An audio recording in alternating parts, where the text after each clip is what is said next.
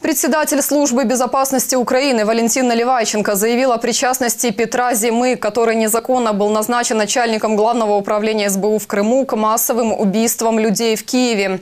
Об этом говорится в видеообращении Наливайченко, распространенном пресс-службой СБУ.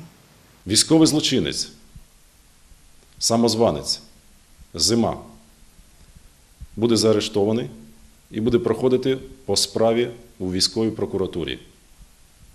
Так само, як його хазяїн, той, хто зруйнував корупцію Служби безпеки України і разом з ним зараз ховаються в Севастополі і роблять вигляд, що вони створюють якісь угруповання та ще й намагаються з ці угруповання назвати Службою безпеки, обидва вони причетні і проходять по справі про масові вбивства мирних молодих людей, наших з вами громадян, про масові вбивства людей в Києві.